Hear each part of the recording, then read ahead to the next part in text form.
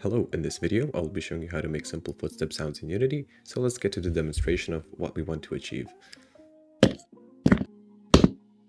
As you can see, every time his foot touches the ground, he makes a footstep sound. So in my project I have a simple animator with a simple animation controller, an audio source, a particle system which I will show you later, and a simple script that's called Ybot where I have some footstep sounds saved, a couple of booleans that I can just use through my inspector, and a simple rotator script to help showcase the model. Let's just go quickly through it. So if I turn on the rotator, the model will start rotating, and if I click on the walking, the model will start walking. As you can see, it's currently not making any footstep sounds, so let's see how we can do that. The simplest way to implement footstep sounds in Unity is using animation events.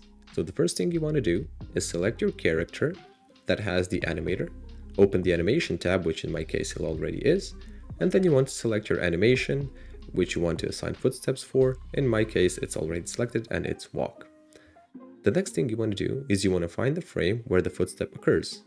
So that would be, let's say right over here on frame 9. So let's do this on frame 9. You right click and then go add animation event. What this means is every time this animation hits frame 9, whatever function we have linked to this event will be called. So this means we now have a function call on every footstep, which is great because the only thing we need to do inside that function call is play a footstep sound. So since that code is easy, let's just first find the next footstep that occurs in this animation. That would be frame, frame 24, let's say. We go add animation event. So now let's go to Visual Studio Code and see what the code looks like. Inside of our script, we have the animator, the audio source and particle system components. We have an array of footstep sounds, that's an array of audio clips. We have an animation parameter that's called animation parameter walking, the string value of walking. And we have the visualize boolean that signalizes whether or not we should use the particle system to visualize the footsteps.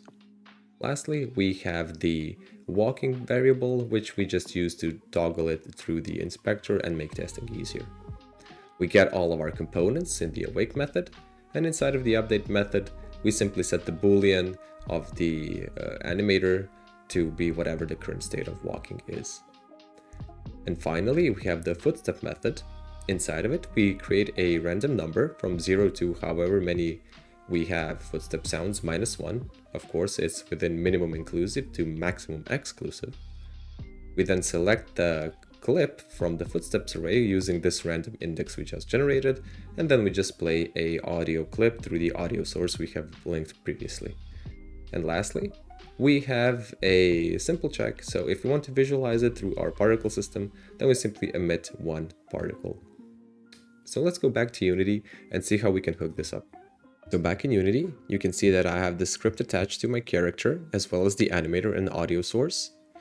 I also have the particle system right over here, which is going to be super cool later. And now I want to do is I want to go to the animation tab. I want to select both of these events I have created previously. I can also do them one by one, but it's easier to just click both of them with shift. And then I simply assign the footstep method I have done before. So I go ybot, methods, and then footstep. So what this means is every time the animation hits frames 9 and then 24, a footstep function will be called, which will then play the footstep sound. So let's see how this works right now. We have to click that it's walking. And as you can see, it works. However, it does feel a little bit off.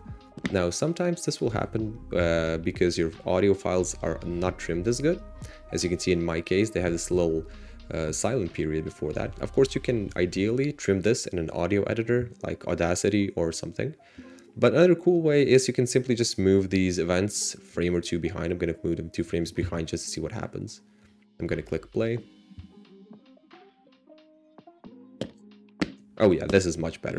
Okay, great. And now for the finale, we're going to see the visualization of the footsteps. And as you can see, every time the foot touches the ground, we have a little particle emitted, which is a simple circle that, you know, zooms in and then fades out. Thank you all for watching. I hope you enjoyed. If you have any comments or questions, feel free to leave them in the comments below. And I hope you have a nice day. Goodbye.